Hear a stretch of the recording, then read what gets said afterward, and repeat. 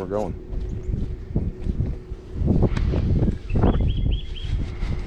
I don't even know if you can see me. There. I can find out. Okay.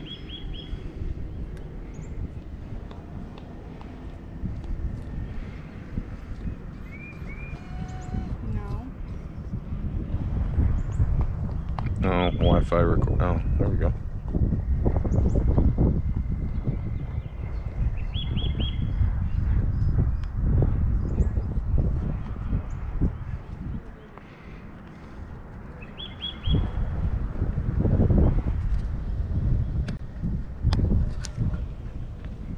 Okay. Is that the right? Yep. Looks about good to me. All right, I'm leaving that there. I'm gonna hear my dog. Cinch, just drop his leash. Yeah, why not? It's funny. Cinch, walk. Little girls. Little kids.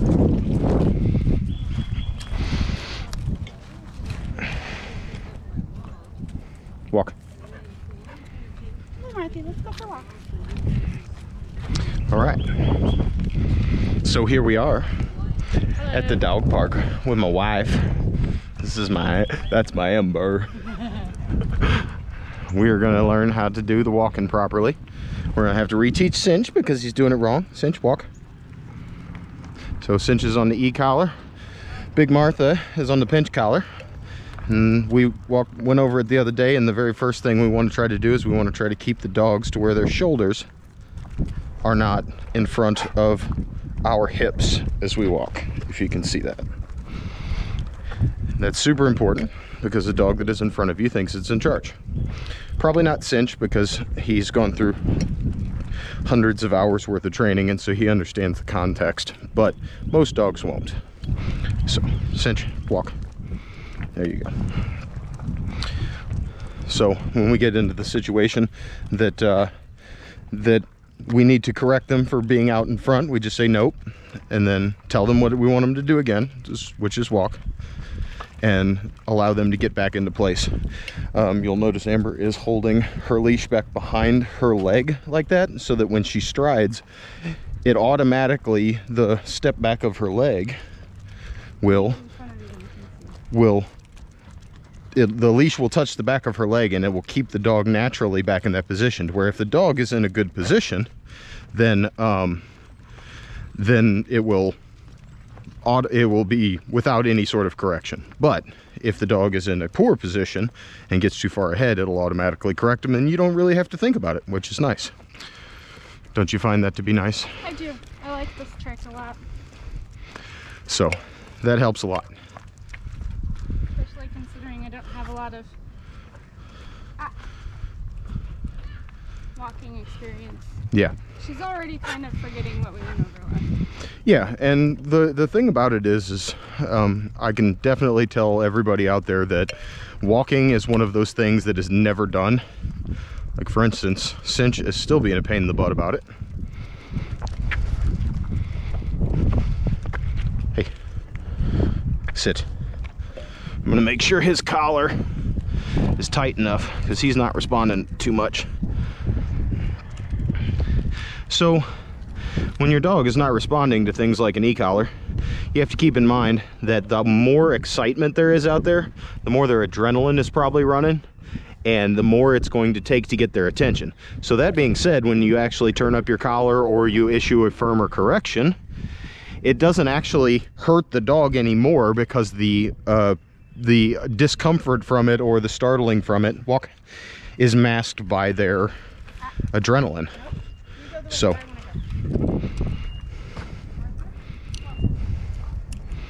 The another thing is, is you should probably have your e-collar set to the right uh, channel. That'll make a difference. Sit. Good boy.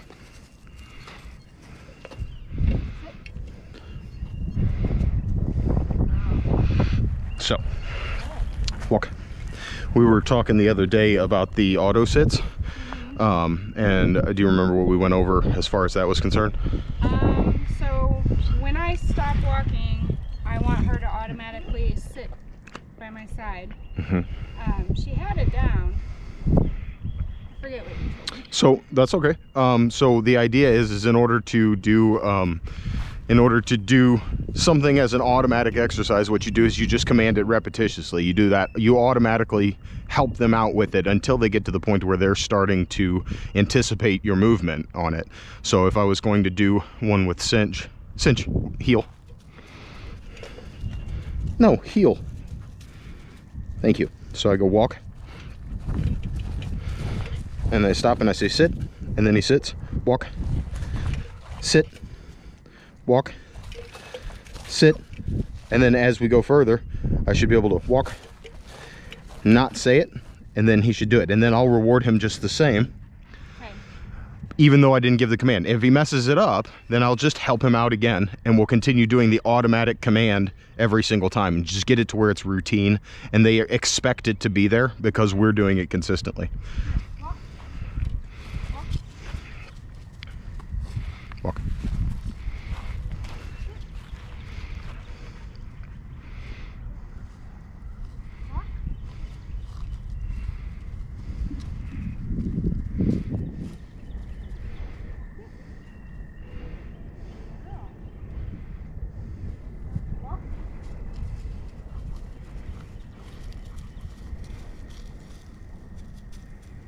Good girl. See? Perfect.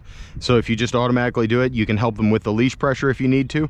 Um, and what we talked about last time is if they are not stopping short, they're not stopping tightly with you and they're circling around, which we don't particularly care about whether or not she does that.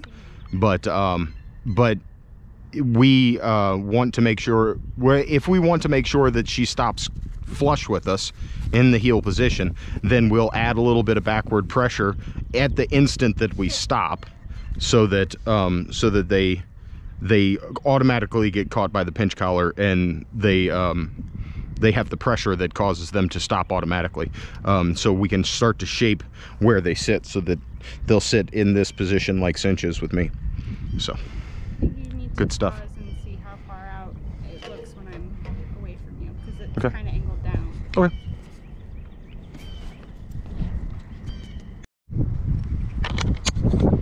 Then I'll for sure be able to see it.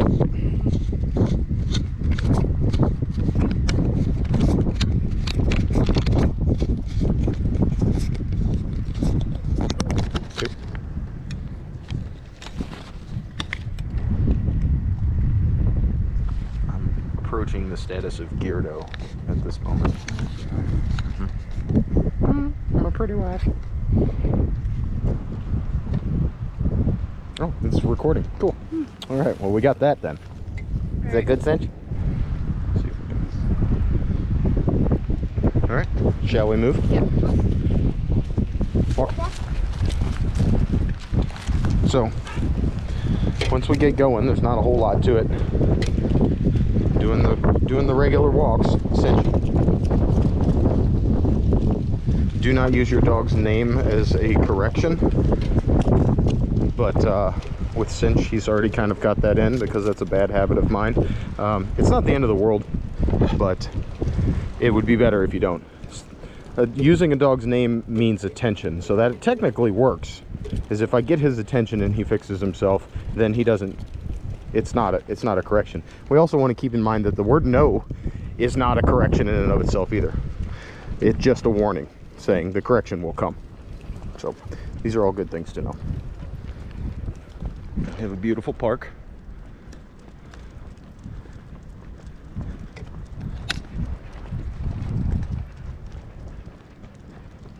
It's very lovely, like my wife. You flatter me so. Yeah. We go the opposite way this time. Yeah, this way. Mhm. So heel. Gonna enjoy the good view.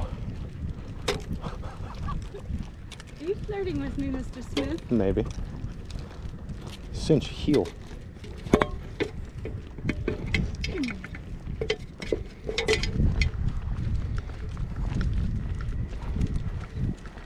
Walk.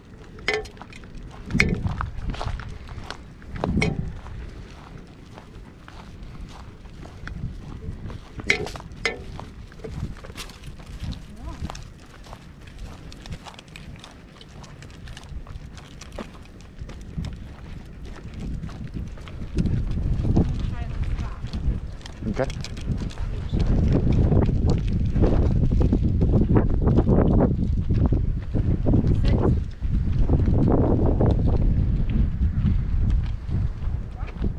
Sit.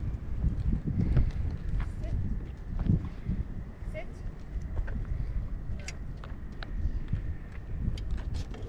Walk.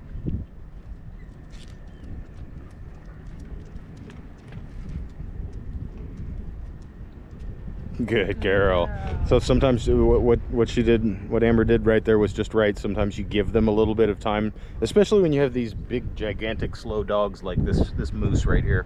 Um, you give them a second to to get on board, um, and if they're just plain out ignoring you, then that's not good. But if they're not, then you know, and they're just slow. Like um, I've had I've trained some Great Danes that are also super slow, and so we give them the time to do that. So Walk. free. When you get to a certain point that your dog is used to sticking with you, especially when you've gotten to the e-collar point, you can let them meander around and do the thing. Martha's not exactly in that position yet, or maybe she is. Sit. That's good. Good girl. Or maybe she is, but uh, we haven't gotten to the point where we want to test that yet, especially not at this point in time. Cinch.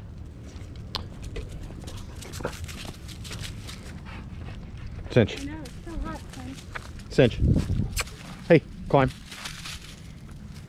Good boy. So, everything can be a climb, folks. Just keep that in mind. So, we'll see you later, Cinch. Walk.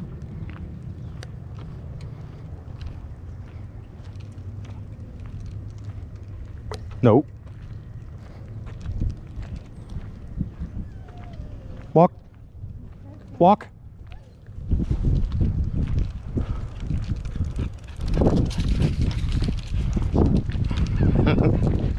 Get a little ahead of yourself there, boy. Down. Walk.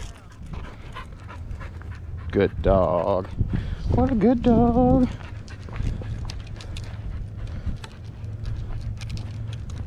Heel. Heel. Walk. Legs. Legs. Good boy.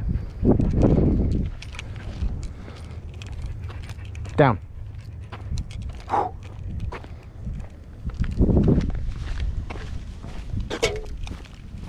Walk.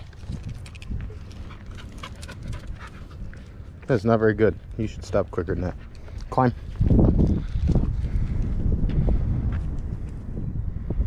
All right, wait there. To climb.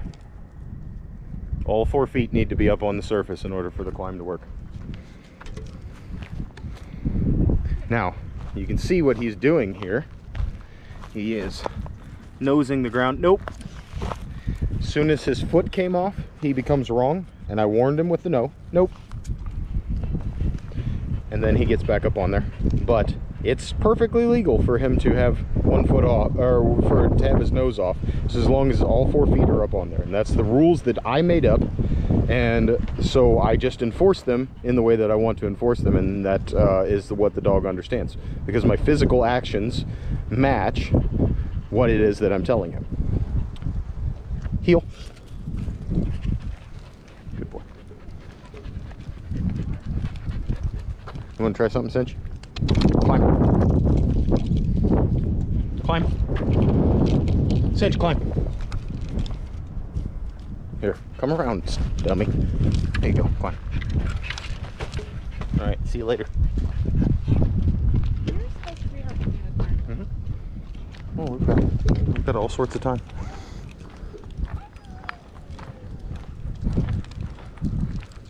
It's supposed to be organic, in your words. Right. Right. And you keep helping him with climb, and he knows that. And Martha's not getting her sit when I ask her to. Huh. So, so go ahead and put extra pressure on. So when you stop, just kind of like go ahead and pull, and you can you can actually pull with your hand. I, So here, why don't you take this for a second, and then I'll take her, and you take my drink. Martha, walk. So whenever I'm doing it, I mean, even if I have it back behind here, I'll go ahead and use my left hand for that when I stop. I'll go ahead and put the pressure and I'll, I'll, I'll make it to where she can't even get in front of me. Okay. Also, another thing that I was going to say earlier is when you when you say walk, just take off. Like don't don't wait Don't for wait them. for her. All right. So, walk is my warning that I'm taking off and I'm leaving without you. So, Gotcha. nope, walk. When they slow down like that and they're trying to trying to lag, then I'll speed up. Walk. It's not it's not for the in the efforts of pulling. Walk. Sit. It's not in the efforts of pulling them along. It's in the efforts of um, getting pressure on them till they speed up, and then then they loosen the pressure by coming along. So we don't actually try to use our hands to get them to speed up as much as we use our motion. And so I, I will just, you know, and I'll, and and I'll leave the slack in it to where whenever she speeds up and tries to catch up with me, that she relieves her own pressure. So Okay. quiet hands is always a good thing, except for obviously in this situation where we're putting back pressure for the auto sit. So, Okay. Walk.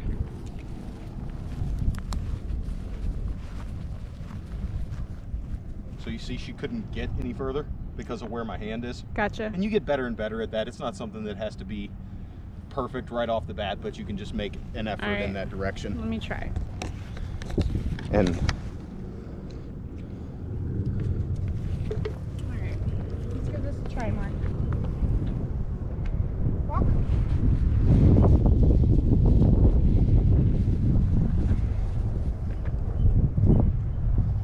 I pulled back. She's yeah, well now just tell her to sit. being very stubborn with me. Yeah. With me today.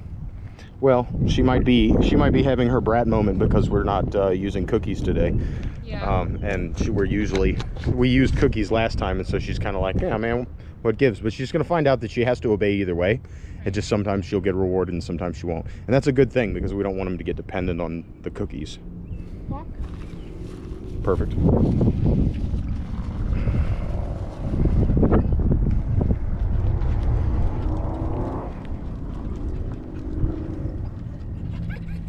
Sit. So go ahead and use the sit command right right as you're stopping. Okay. Like don't uh, in this case. So when, we're doing an automatic exercise, we use a, term that's called three and a freebie. And so three is just an arbitrary number. It could be 27 and a freebie. It could be two and a freebie, whatever. But what we do is we go with automatic help, which means the, the help with the leash, help with the vocal, you know, with the actual command itself. And we do that two or three or four times in a row, like I did earlier. And then, then we take the help away but we want to get them in the rhythm of hearing it and knowing that it's coming. So, and then that's whenever we give her extra time to get it right. Okay. But but so I shouldn't be giving her extra time at the front. I should just go ahead and be giving her the command and then. yeah, you give you give her the extra time on the freebie, not on not not Gotcha. on the on the one two threes. Okay. Does that make sense? Walk.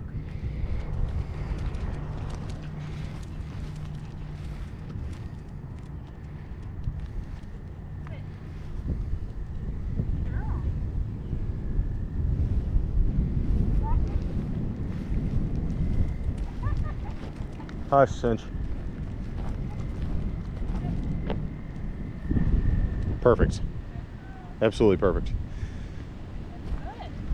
And this is this is not a, any sort of criticism because you are doing this, but um, making sure that even whenever they don't do it perfectly, that we reward once they've completed it, no matter what.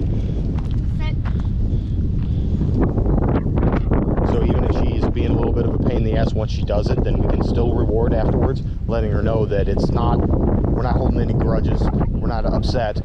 But once you've done it right, I use the the petting is actually what tells you that you've done it right. So that's great. You and you're doing that perfectly.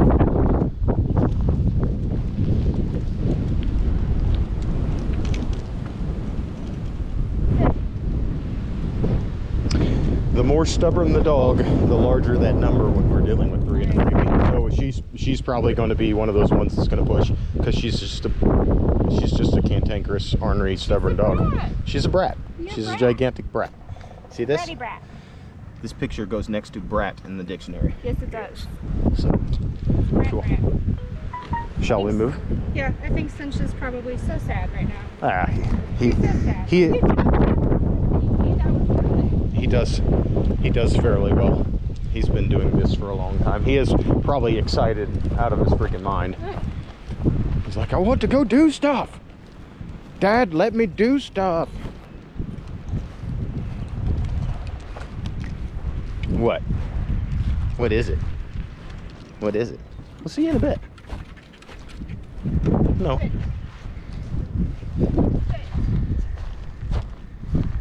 Sit. You are not maybe err on the side of more of the upward pressure with the leash than the push down on the butt. The push down on the butt, I find, is probably more aptly used for dogs that don't know how to sit. Um, because it's it's more of just a suggestion like it's help in a manner of like you don't know what it is that you're doing wrong whereas in this situation she absolutely knows what she's doing wrong she's just ignoring you so that's where we make it uncomfortable Okay. like we add we add extra yeah so uh, whenever you yeah the correction that that encouraged sits is straight up because in order when they go from a stand to a sit their their shoulders actually come up a little bit and their head comes up a little bit. So that's going to be the Walk. cinch walk. You're a good dog. Nope walk. Sit. perfect oh. perfect down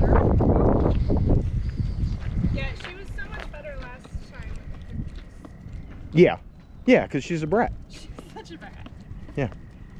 Sometimes sometimes with brats you get uh, you get a whole different thing whenever they get what they want and when they don't Right. and i think that's kind of the definition Well, I think this is very evident of what I've been saying about how they ignore me. Right. She, in particular, ignores me. Yeah and especially with dominant dogs like mastiffs and heelers they will they, they they're very dominant dogs so they will get away with whatever they can Right. and and martha is chiefest of that because you know she was in a situation where some unnamed person was letting her get away with all sorts of stuff because he just loved her to death and he thought that spoiling her was good for her and it's not No, it's not. no it's not Because now mommy can't get her to do anything she needs her to do. yeah Walk. Down Not you. Walk. don't you be sneaking walk Hey. no Look at me. I'm Walk. now. copyright infringement we'll have to cut that out of the video probably not actually Sit.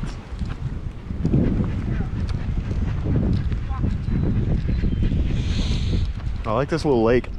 It's not too bad.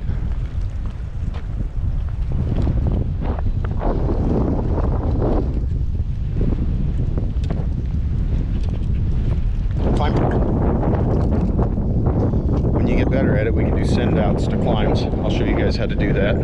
Not today.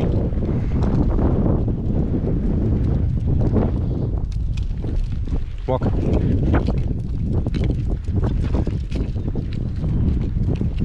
Cinch. Walk. Thank you.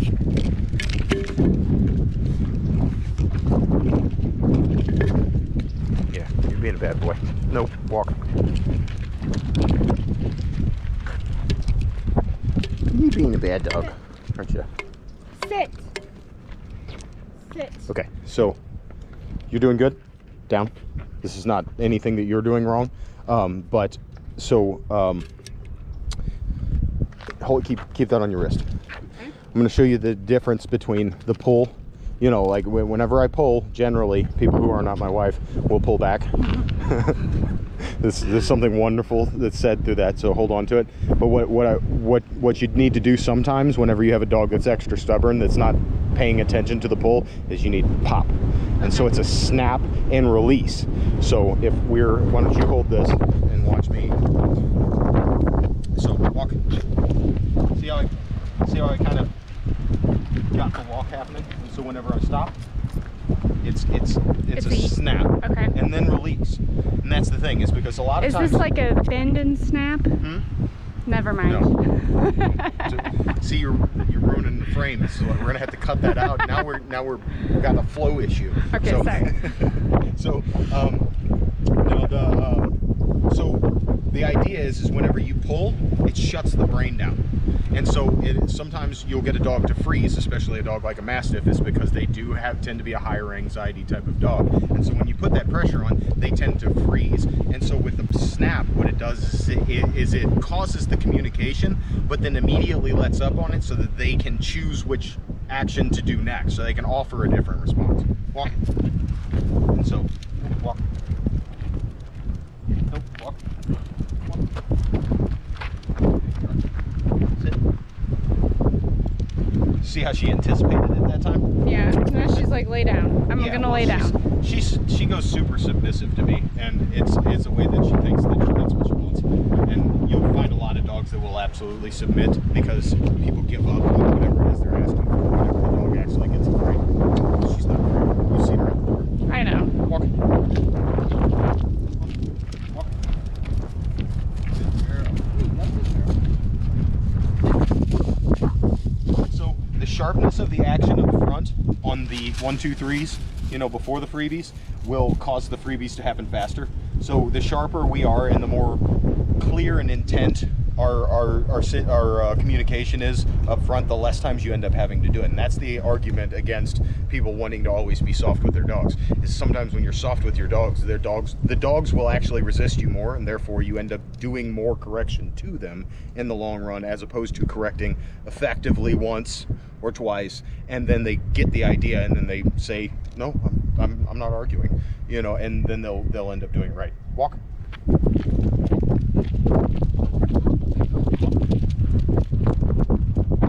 Walk.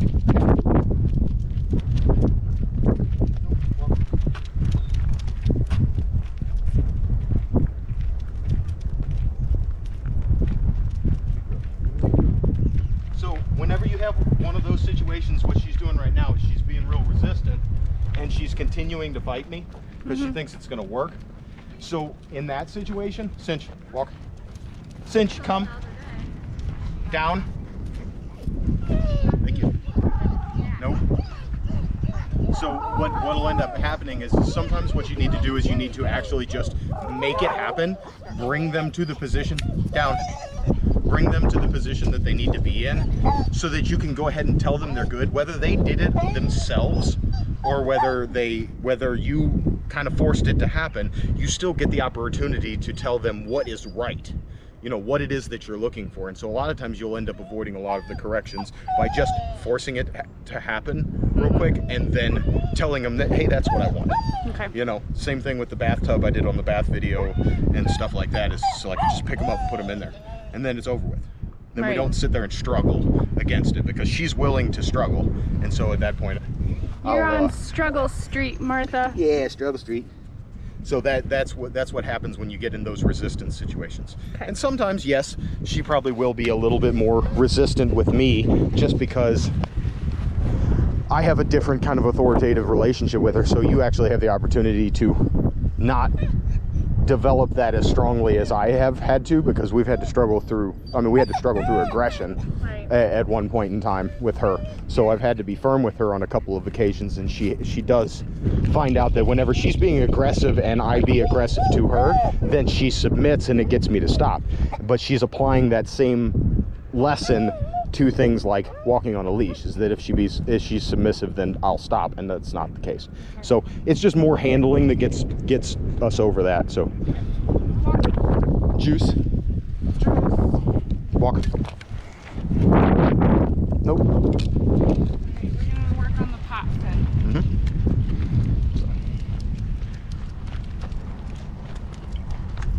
sure I'm happy about this weather It's gorgeous. It's a little windy. I'm wondering if you're gonna like be loud enough on there. yeah. Yeah that's what the GoPros are for. So shout out to GoPro.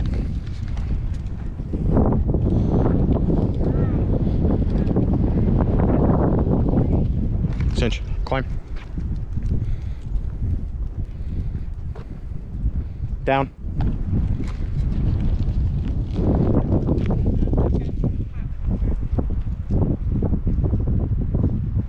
pop her again there you go that's fine no she she ended up following through and that's okay Um, but if she's being a pain and just like doing it extra slow just to be a brat, then don't hesitate to pop her because what you expect is the really the only thing that matters.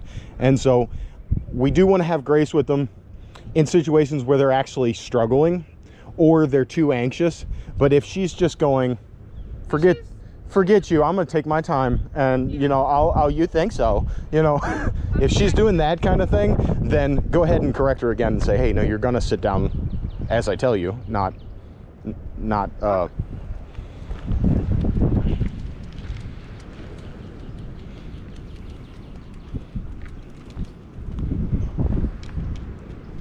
there you go. See now that right there was an anxious thing because i was behind and so and the way she looked back she's Yeah. like I'm, I'm not sure. It's just too it's overwhelming for her. And that is a mastiff thing. They're bred to get overwhelmed easy. That's what makes them good guard dogs. Is because dogs fight when they're anxious not whenever they're confident. And so mastiffs bulldogs any sort of fighting breed are bred to be more anxious. And so we we just have to take extra care with them. Walk. walk hey. No heel. Walk. You're being a bad dog. As soon as i get done with this drink i'm getting your collar back out so that i don't have to fight with this thing. Hey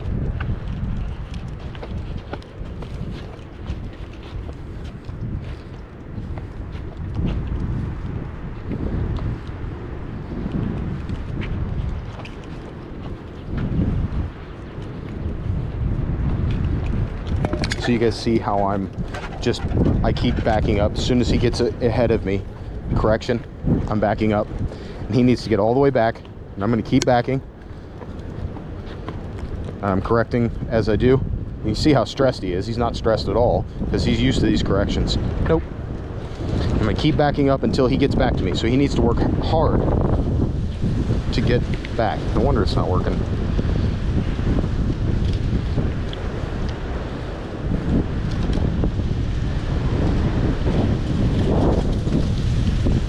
Hey, hey. So, I know my video is not going to be too good with the wind and the fact that I'm holding it weird. So, it seems like it's about to storm. Look at that hair blowing around. Looks like we're going to cut it because it's getting a little stormy. All right, love you guys.